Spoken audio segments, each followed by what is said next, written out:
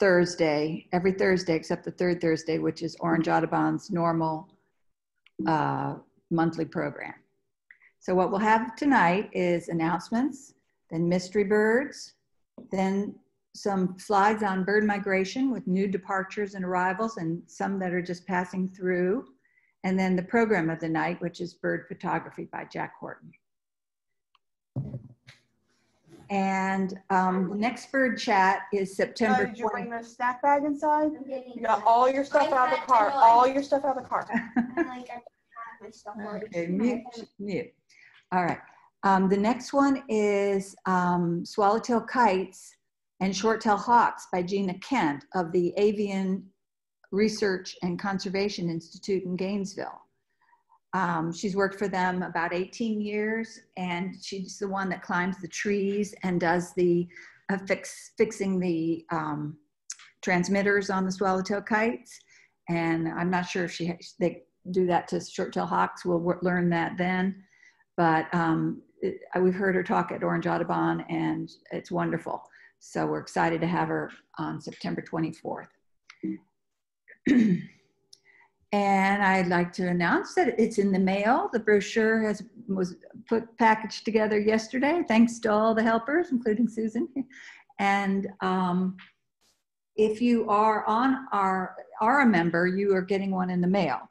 And there are other places to pick it up, um, but we do encourage you to join our organization. And uh, you can find out how to do that at orangeaudubonfl.org. And this picture did not turn out good, but um, Audubon's Florida's Conservation Leadership Initiative is um, have a deadline of September 12th, two days from now. So if you know anybody who's a college student who hasn't participated in this, Jeremy, um, my mentee from last year, co-mentor from last year is on the call. Um, he was in it and Brian Camerano was in it two years ago and some other, uh, the Nighthawks Audubon at UCF, um, quite a few of them were in at CLI. Melissa Gonzalez was. So um, it's a very nice program that kind of brings college students into Audubon. And so if you know anybody to tell about it, to apply, the deadline is September 12th. And Kathy, you want to speak up about this? Sure. So um, we do a monthly survey at beautiful Wekiwa Springs State Park. And if you think you've seen the park and you haven't hiked the trails and you haven't seen the gems of the park, it's amazing. Um, we do this as a service to the park uh, biologist. So if you're interested, there's my email. Um, it is this Saturday. We meet at seven. We're usually done around 10:30, unless the birds are amazing. You never know, and you might get to see a bob white like we did. That was from uh, like two months ago, when when a whole family came out the road. So let me know if you have any questions. We do require social distancing and masks. Okay. And we're not going to have a bird chat next Thursday because it's Orange Audubon's regular program, Cultivating the Wild, Bartram's Travels, a film, a one hour documentary, um, which will be introduced by Robert Wilson. And for that one, you don't have to register and it's not on Zoom, it's on YouTube Live. So all you have to do is put Orange Audubon Society in the search field, go to Orange OAS YouTube Live channel at 7 on the 17th. And we'll have plenty of reminders on Facebook. Okay, the Lake Apopka Wildlife Drive Ambassador Program could still use some help. Um, we are out there every Saturday and Sunday from 10 to 3, passing out um, maps and giving some tips on how to successfully and happily go through the wildlife drive. So just email volunteer at orangeaudubonfl.org if you are interested in volunteering. And now I will turn it over to me, Kathy. Yep. Okay, take it away. Okay.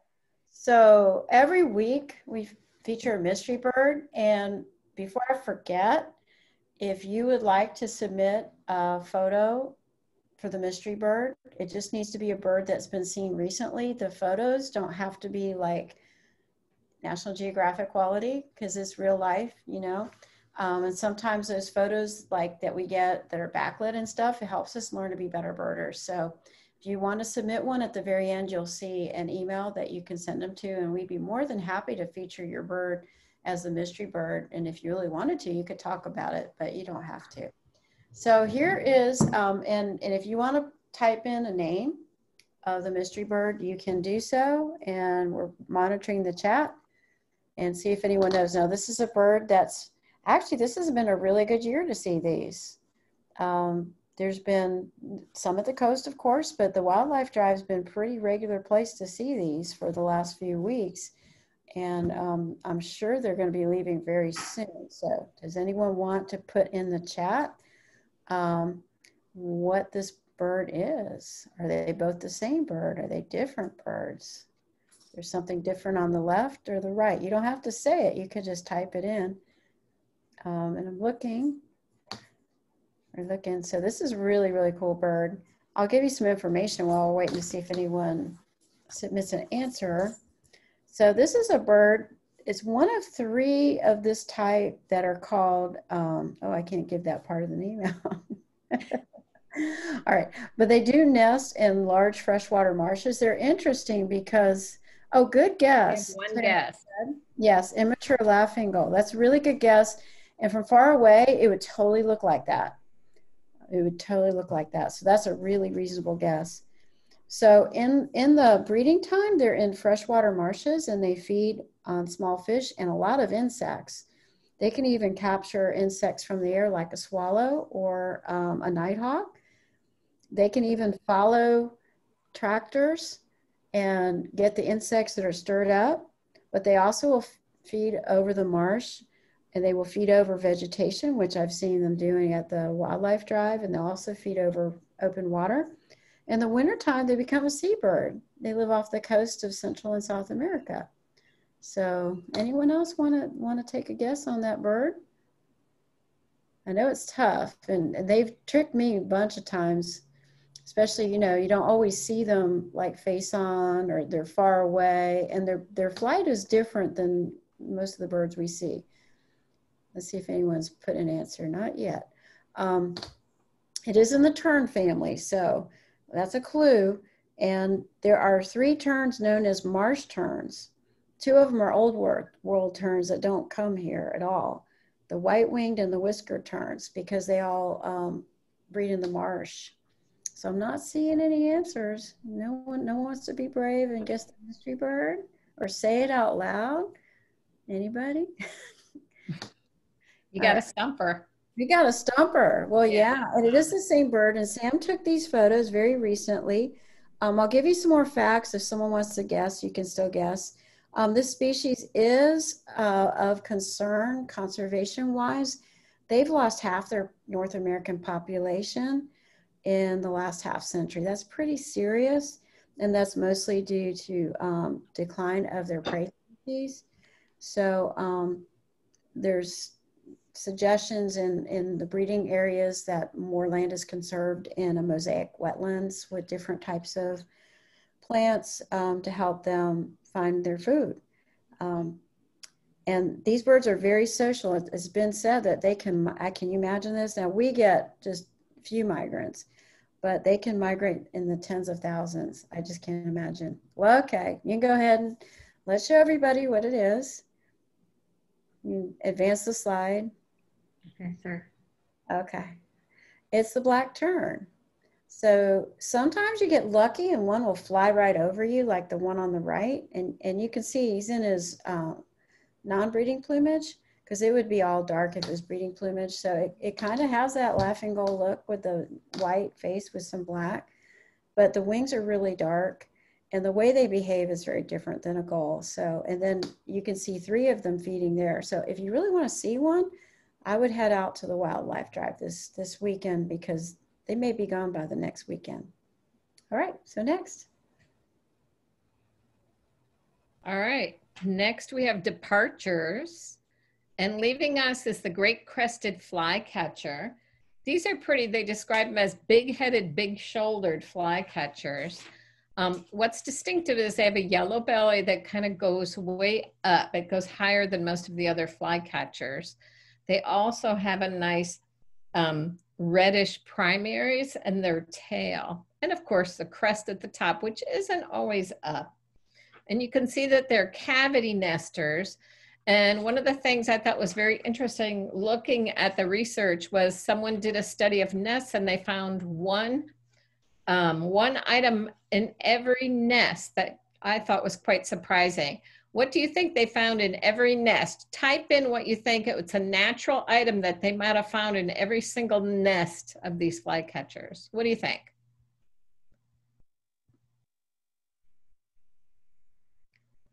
Ooh, Bob S is pretty good here. Okay, it is snake skins. They found shedded snake skins in every single one of the nests that they studied. And I thought that was pretty interesting. Um, it's they kind of like i guess that texture because they sometimes find the onion skins and of course cellophane which we don't like too much but it has that same texture. Um, there are and if we can look at the next one we'll see where they're heading.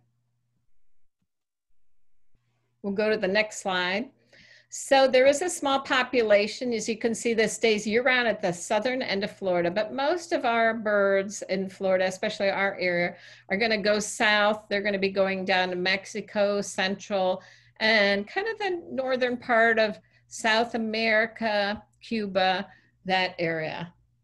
So that's our great crested flycatcher that is gonna be leaving us soon. And then coming, we're going to have a new bird passing through, and it's the eastern wood pewee. So these are, um, pewees are going to be, they're kind of a smaller than a phoebe, but a little bit bigger than some of the smaller flycatchers. They're kind of more of a grayish. They have a very weak to no eye ring. It's almost hard to see it. Um, and they appear to be wearing a gray vest. As you can see on the left, you can see the little white comes up and it looks like a little vest. They have, if you're finding them, you listen for their little pewee. They pretty much say their name and the males sing both in breeding and non-breeding. So we're seeing them on migration. So they will be singing.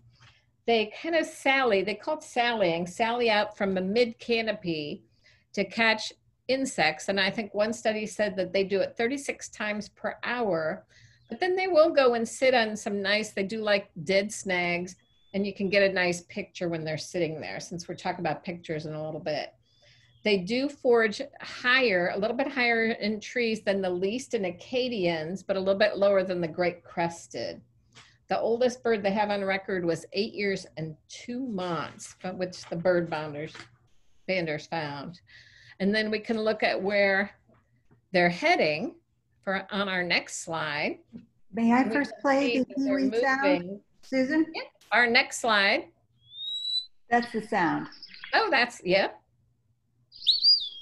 Pee-wee. Pee-wee.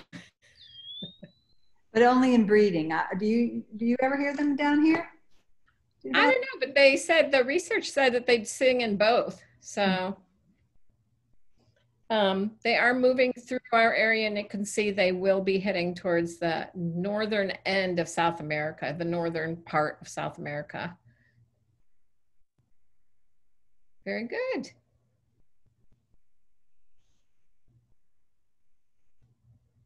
That's me, sorry. This is one of my uh, favorites.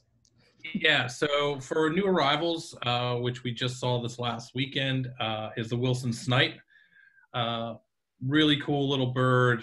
Um, it's a medium-sized sandpiper. It's long and straight bill, around six centimeters long. The females have longer bills. Um, and if you can see in this picture, the crown, it's striped with alternating black and buffy.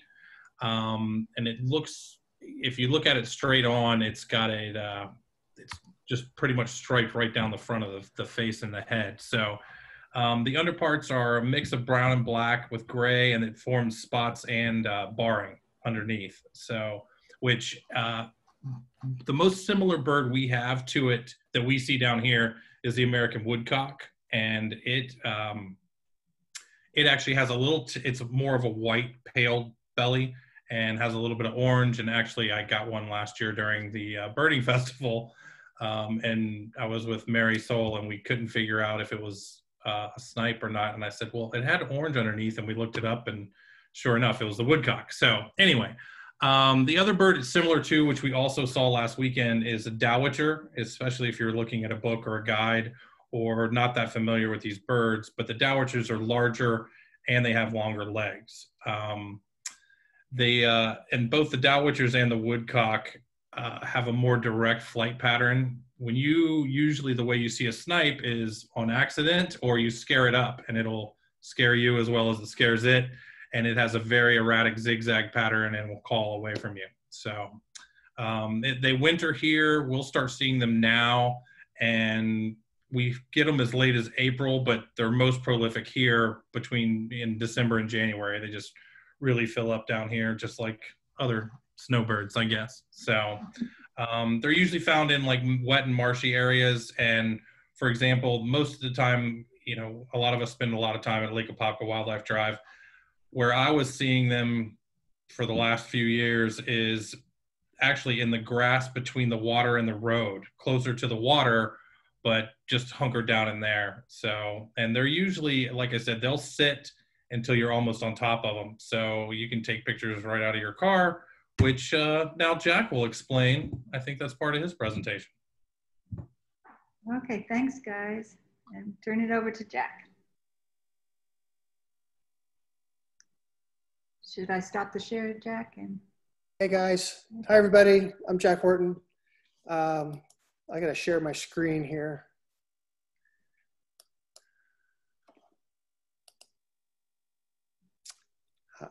How's that? You guys see it?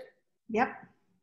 All right. Um, I'm Jack Horton. I've been an amateur photographer for um, the better part of my life. And there we go. Um, and what I'd like to share with you this evening is what I've learned about using my vehicle as a photo blind. Um, why does this work? Um, my guess is they get they see something moving on legs and they react to it. And a vehicle's not like that. Uh, locations that I use locally, uh, Joe Overstreet and Three Lakes Wildlife Management Area, um, those are about an hour, hour and a half away uh, Lake Apopka Wildlife Drive, which is about 15 minutes away from me, and Black Point and uh, Merritt Island surrounding areas, which are about an hour from me. Uh, your vehicle would be a good starting point uh, to and get some shots. Uh, before you depart, um, check your stuff, have backups. Um, I have gotten up at 4:30 in the morning and driven down to Three Lakes and gotten set up, and then discovered I had no batteries, no backups, none, and um, so it was a scouting trip. Um, is it cold? You might want to take blankets, keep yourself warm in a car if the engine's not running. Uh, I tend to bring extra keys because I just tend to be a little paranoid about uh, locking my keys in. Um, homework the night before, uh, check the weather and check eBird. Uh, if you haven't been on eBird, I would suggest to go to our Orange Audubon Society YouTube channel. We have a bird chat that has a eBird episode and it's really good. It's a really gr- great way to find out what people are seeing and where. Uh, in the morning, I pack up my, my gear. I check traffic. Uh, locally, Interstate 4 has been a mess for quite some time. It's I call it a pinball machine because it's it's ever changing. And then I turn my dome light off because I might have my door open for quite some time and I don't want that drain on the battery. This is a, a picture of my back seat and I've got a lens strapped in there using a, a seatbelt if I had camera bags in the front passenger seat, I would use the seatbelt to strap them in as well. Um, I want to talk about stable platform, which is basically your door. Uh, in my experience, any lens 300 millimeter or higher, you need to start thinking about stabilization. Uh, with stabilization, you get more sharp images and fewer soft images. Uh, you're able to go with a lower shutter speed when needed, uh, which in turn gets your ISO lower, which in turn make your images much better quality. Uh, probably one of the biggest things with a platform is there's no fatigue. I can stay locked on to a, an animal for for for an indefinite amount of time because there's no no fatigue uh, involved with it. I do turn my engine off. I don't want any movement inside the vehicle at all when I'm set up. Um, so I shoot out the window, and in the past, I've used a towel um, I've used plumber's, plumber's pipe insulation, which already has a lengthwise cut. Um, I've seen people use a pool noodle, which they have to cut. And currently I use a bean bag, and a particular one I use is, a, is called a Sabby sack. And I, am very, very happy with, with this, uh, this piece of equipment. Um, I just talked about a soft image and, and sharp image, and this is an example of a soft image. Um, why is it soft? Could be the focus, could be vibration of your environment, uh, like you holding it. It could be the shutter speed's too slow. There's any number of reasons it could be, be that way. And if you look at the bubble right here on the leg, um, this is probably within a tenth of a second or less later. And that bubble's still there, and that's a sharp image. So with a stable platform, I'm going to get more sharp images and also very sharp images, which to me is, is a big deal. Um, here, here I am using a towel. I've got my hand cupped because I was shooting into, a, shooting into the sun, so I cut my hand up there to block the sun.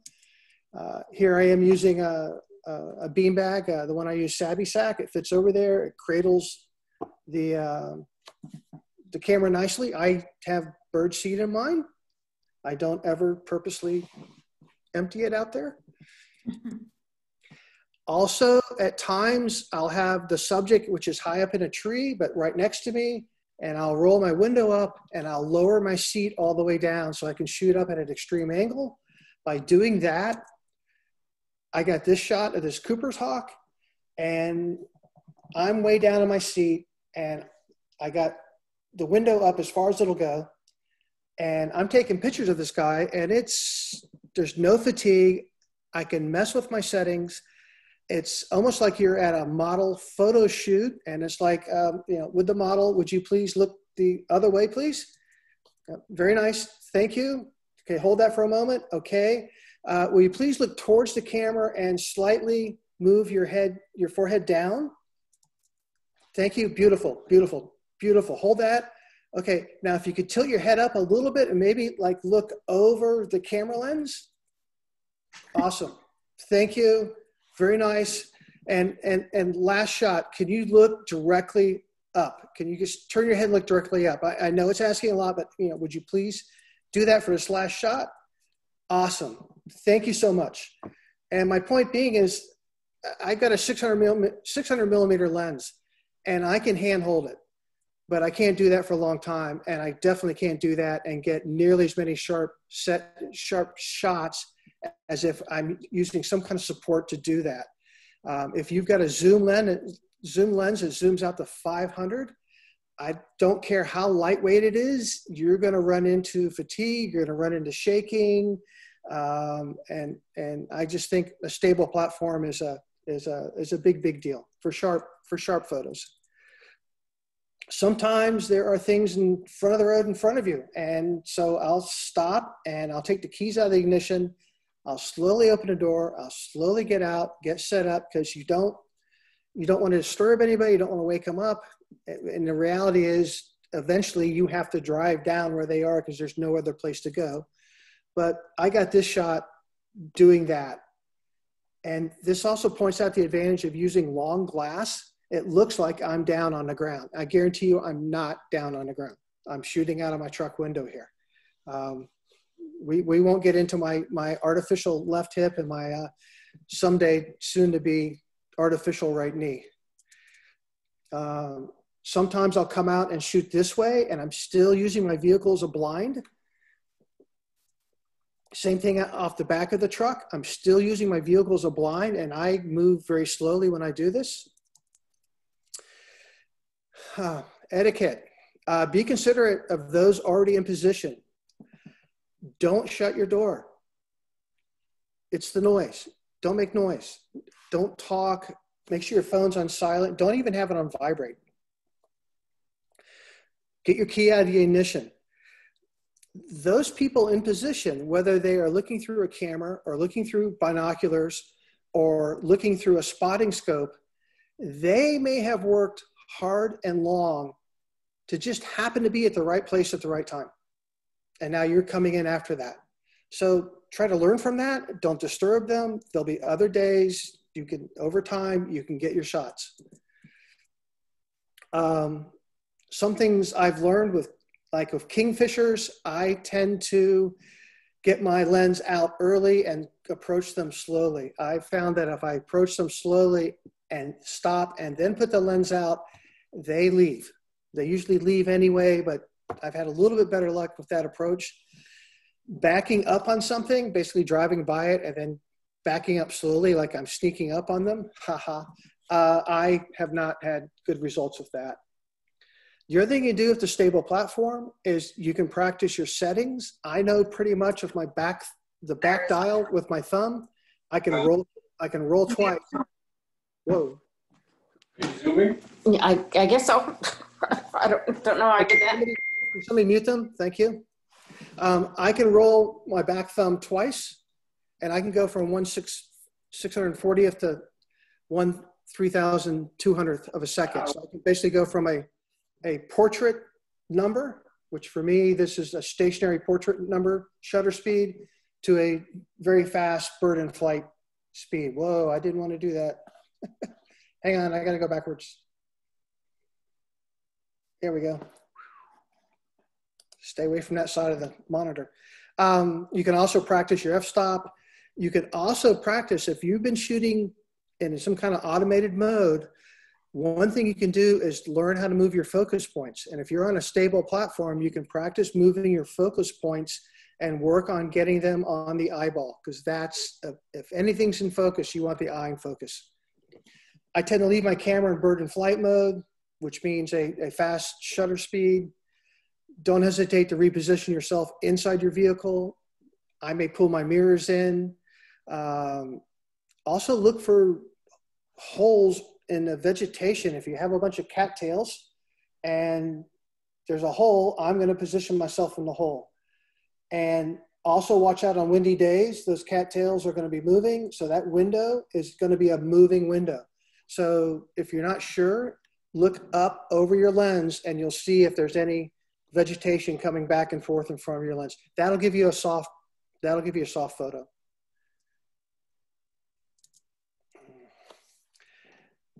Patience is crucial in photography. It's just wait and wait some more. Um, you want to try to have the sun and the wind at your back. Uh, sometimes the subjects will cooperate, most times they will not. Um, to me, the background is just as important as the subject itself. Uh, but I, more on that in just a moment. Long glass has many exact advantages. Um, I can stay further back. I can have the illusion that I've gotten low to the ground when I actually haven't. Uh, weight is not one of the advantages of, of longer glass. Typically, it's, it's pretty heavy. All right, this is a locally known great blue heron called crookneck that you can find around McDonald's Canal and um, Welland at the Lake Apopka Wildlife Drive. I have no idea why his neck's like that, but it's like that. But what I'd like you to try for a moment is to, to look at this photo and to lean back and then don't focus on the photo, just try to look through it and see what gets your attention. And for me, what gets my attention are these two pieces of light up here. This one down here really gets my attention. This gets my attention that the back of the neck is lit up, but yet the face is not lit up. So to me, this is a pretty busy background. And it, to me, it's, it's distracting. It's taking away from the subject. It is backlit. You can have great backlit photographs, but this one has got a lot of stuff. Um, so in contrast with this one, the background doesn't draw your eye. You're drawn to the interaction of the two great blue herons. The shadows that are there are pretty light. There's some right in here. The sun is very low. The sun is maybe 30 minutes or less above the horizon. There's no clouds, so we have this kind of this goldish look. Uh, some people call it the golden hour. Um, and it, that to me is the difference between that background and that background. All right. Um, there are many ways to do things. All I'm doing is sharing how I do things and what I have developed and changed over time. I think it's crucial that you learn the subjects and you learn as much as you can about them because that's going to make it easier to predict how they're going to behave and where they're going to be. Um, what are birds to me? Birds to me, they're, they're fascinating. Uh, they're beautiful. They are amazing little monsters. They wake up every day and it's a fight for survival and it's eat or be eaten. Um, I really think it's important that you love your subject in photography. And if you love your subject, you'll be much more forgiving with it and you'll be much more patient with it.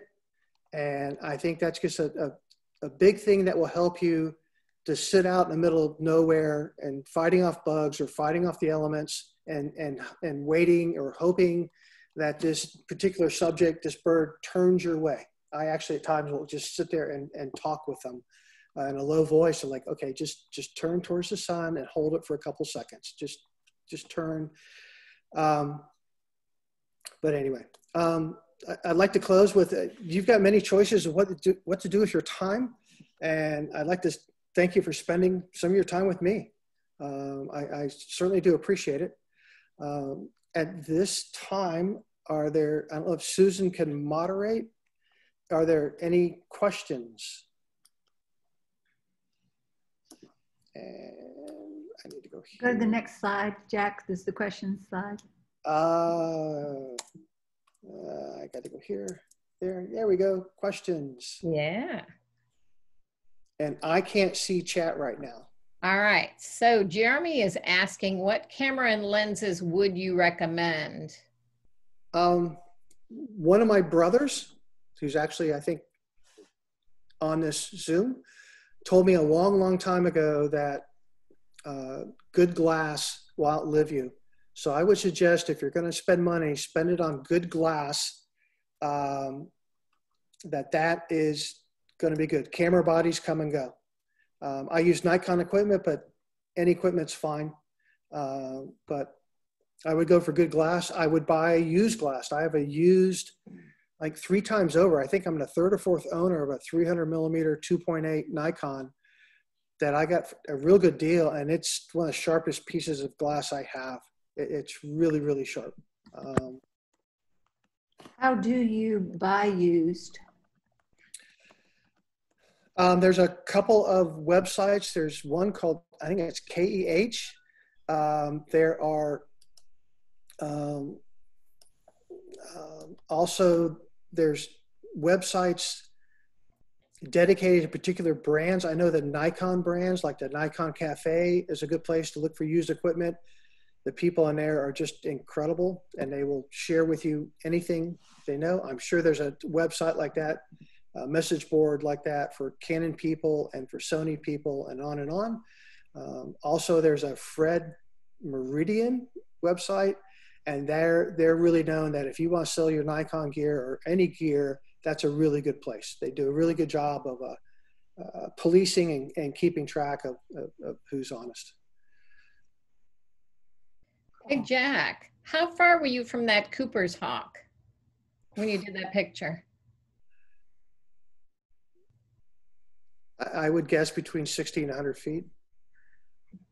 I, have got a camera. I got camera bodies. I can I can sometimes crop substantially, uh, and still have a lot of uh, a lot of data in the file. Yeah, he he's he's he he was on a known uh, snag perch and out in the open, and I was driving by and I pulled over and stopped and turned off and set up and then raised the window and it it stayed there. I was waiting for it to fly off. It never flew off while I was there. I eventually left.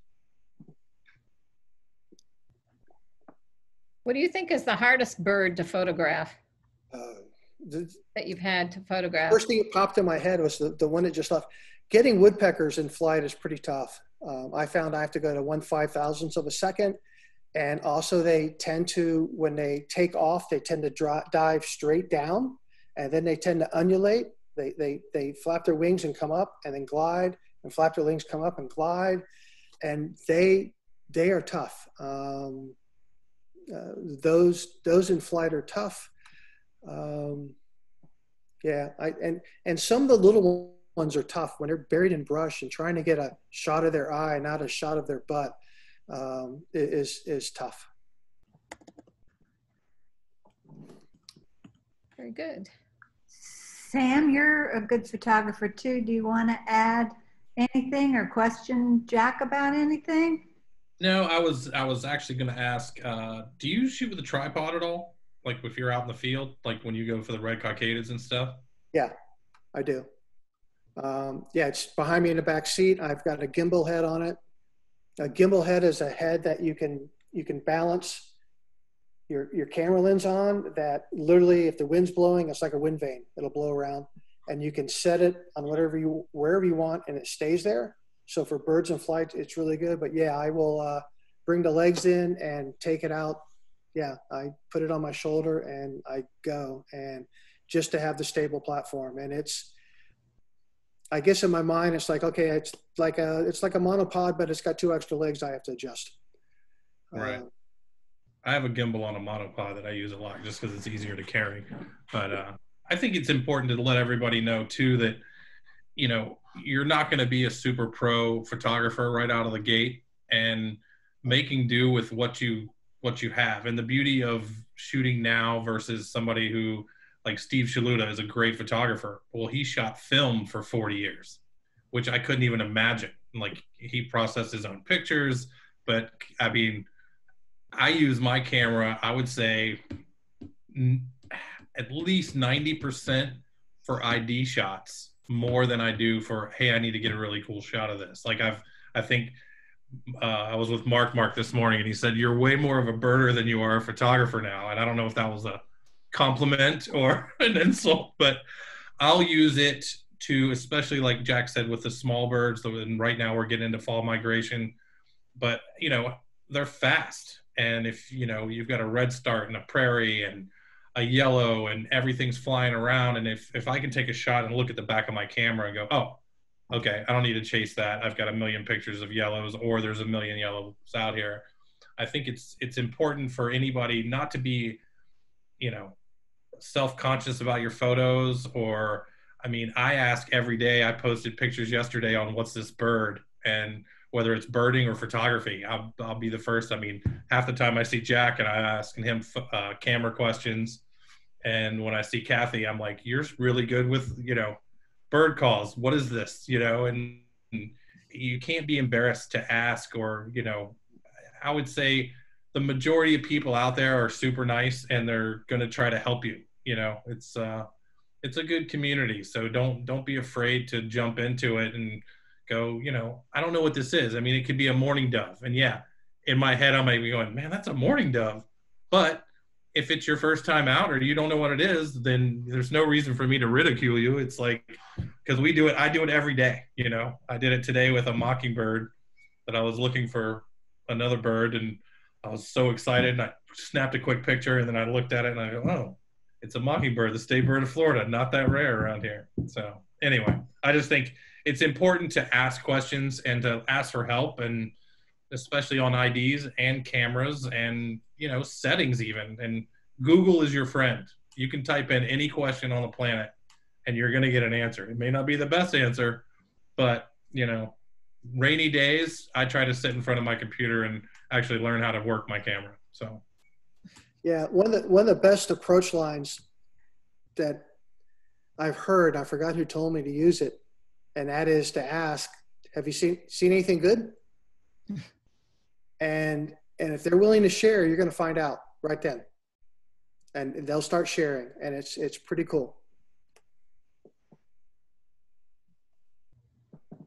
Anybody else? While we have Jack here fo- focused on him. Well, Lori did say in the chat that we are all continually learning. So I think that's the important thing. Keep working on those, that photography, practicing and our birds.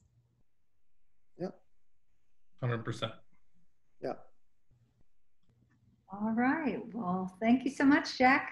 And we'll see you all next week for the Bartram program and then the following week for um, Gina Kent and Swallowtail Kites. Thanks for joining us. Thanks, everybody. Thanks, everybody. Thank you. Nice work, Jack. Yeah, great job, Jack. Thanks, guys.